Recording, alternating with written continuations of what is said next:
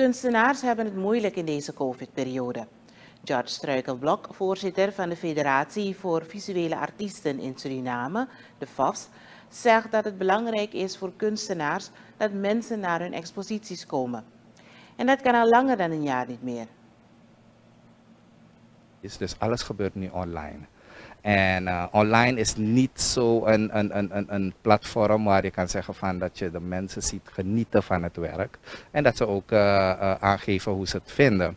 Dus je probeert het op een of andere manier om, om, om toch als kunstenaar je werken te laten zien op een of andere manier. Weet je, kijk, je hebt Instagram, je hebt uh, Facebook, je hebt uh, soms ook je, je, je, WhatsApp die je kan gebruiken en, en websites.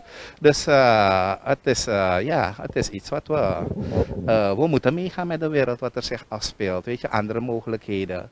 Het geeft ook nieuwe ideeën en nieuwe ja, mogelijkheden om je werk te laten zien. Dus we, moeten, we hebben het heel moeilijk als kunstenaar. Struikelblok geeft aan dat veel kunstenaars financieel achteruit zijn gegaan. Zij hebben een aanvraag gedaan om in aanmerking te komen voor COVID-steun. Maar dat is ook voor deze groep uitgebleven, zegt de voorzitter. De kunstenaars die staan op zichzelf, dus zij kunnen zelf gaan naar uh, de plekken om hun naam door te geven. Ik heb wel nog niet gehoord dat ze die steun hebben gehad. Dus Weet je, er zijn zoveel andere mensen die dat ook nog niet hebben gehad. Dus ik vraag me af waaraan het ligt. Want wij kunstenaars hebben het heel, heel, heel erg moeilijk.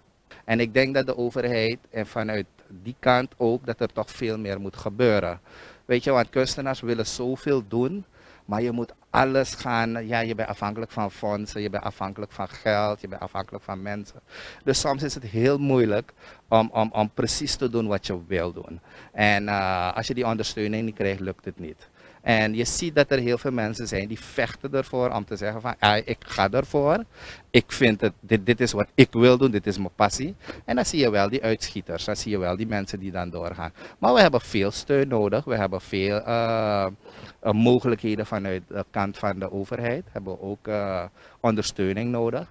Directoraat Cultuur is namelijk ook bezig, weet je, met de jonge kunstenaars, maar ook met de oudere kunstenaars. Dat we samen, kijk, als je, als je samen bundelt, kan je de problemen zien en zeggen van, hé, hey, ik kan daar helpen, ik kan daar helpen en dan gaan we het samen doen. Dus dat uh, ontbreekt er wel een beetje, maar ik denk dat dat nog op gang moet komen. Maar ik denk COVID speelt natuurlijk een rol. Dus als dat over is, dat we dan toch veel meer kunnen gaan doen. Struikelblok, voorzitter van de Federatie voor Visuele Artiesten in Suriname. De kunstenaars zijn vanwege de COVID-19-pandemie in grote financiële problemen geraakt.